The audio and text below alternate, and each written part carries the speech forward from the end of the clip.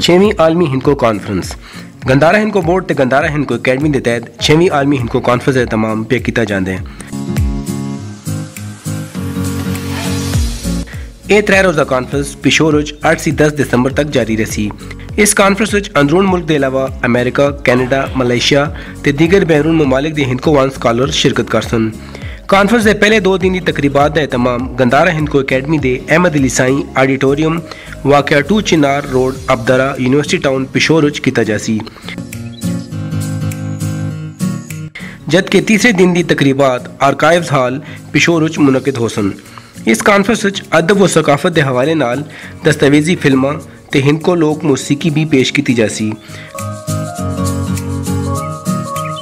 conference ਦੇ ਤਿੰਨੋਂ ਦਿਨਾਂ ਦੀ ਤਕਰੀਬ ਦਾ ਆਗਾਜ਼ ਸਵੇਲੇ 9 ਵਜੇ ਹੋਸੀ ਤੁਸੀਂ ਇਸ ਕਾਨਫਰੰਸ ਵਿੱਚ ਸ਼ਿਰਕਤ ਕਰੋ ਖੈਰ ਨਾ ਲਾਓ ਤੇ ਜਮ ਜਮਾਓ